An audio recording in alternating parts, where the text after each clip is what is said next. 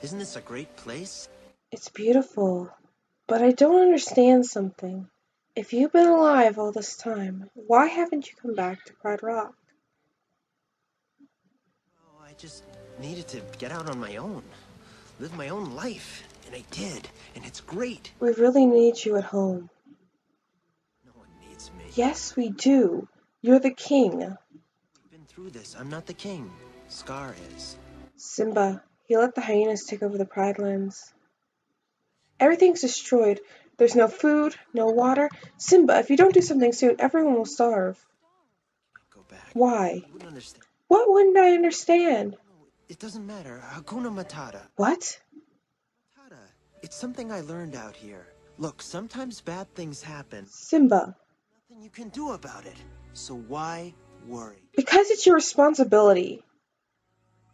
Well, what about you? You left? I left to find help, and I found you. Don't you understand? You're our only hope.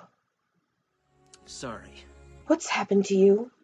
You're not the Simba I remember. You're right. I'm not. Now are you satisfied? No, just disappointed.